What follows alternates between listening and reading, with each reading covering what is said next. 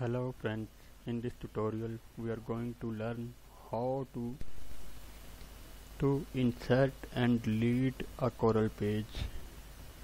So to insert a page in CorelDRAW, first of all we will go to layout, layout, click layout, in layout insert page, insert page click insert page. Here we have insert page docker window open before us. Insert before after pages paper width height inches. You can insert you can insert a page different size of your document already you are wor working in. So to I want to insert one page one page.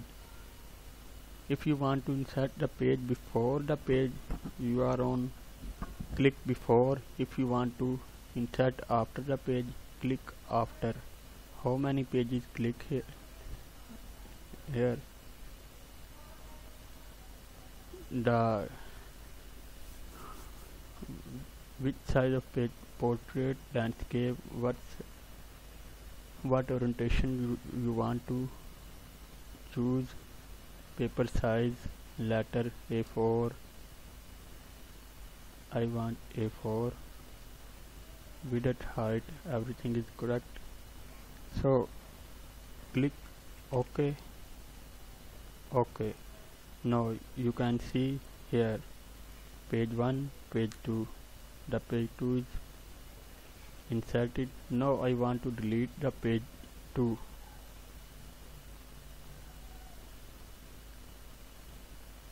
right click on page name. In options click delete. Look again. Right click on, on page name and click delete page delete page. Click it. You can see the page number 2 is deleted. Now short key keys to insert the page before and after are here.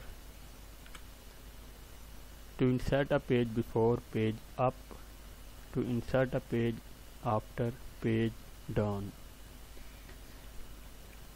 hope you liked the lesson. See you next time with new lesson. Goodbye